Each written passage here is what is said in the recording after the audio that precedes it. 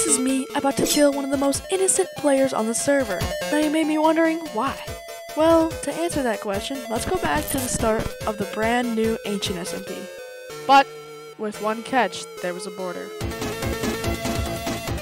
I already gained teammates, so what I need to do now is probably just get stuff. And as you know, the best way to do that is with an awesome montage, so...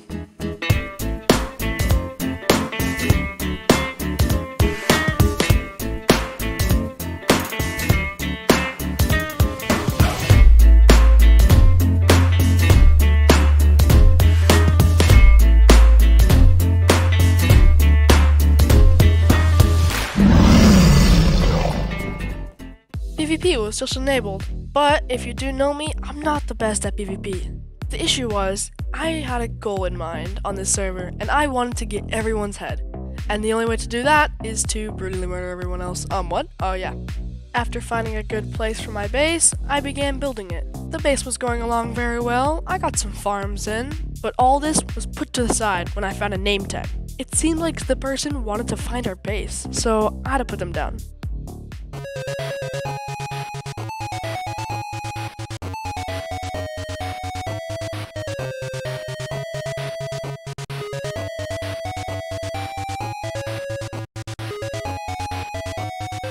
That is how I killed the most innocent player.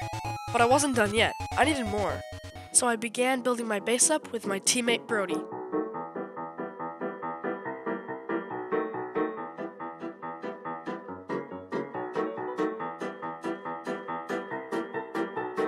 Now with a full set of armor and a good base, I decided to head off and fulfill my goal. But before that, I also killed one of these guys and I started a raid.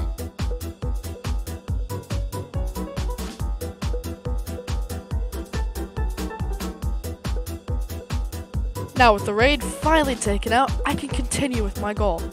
But I knew this wouldn't be easy because most people that were actually going to come on the server are not on yet. So basically all I had to do was find the people that were already on.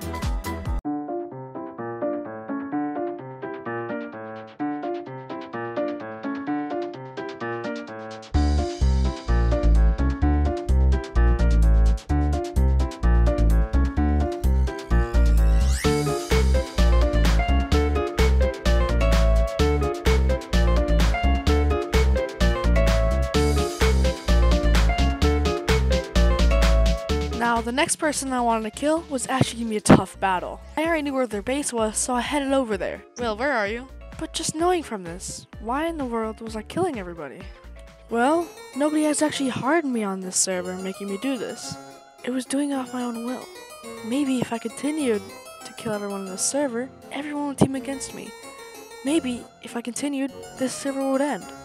Asking myself all these questions made me wonder why this realm was created. The last realm ended in a war, and this one is ending in a betrayal with everyone. Well, you know, maybe I could turn for the better and stop my killer ways. But then you have to ask, what would the server be like if I didn't exist? This server could have been peaceful and not end up like this.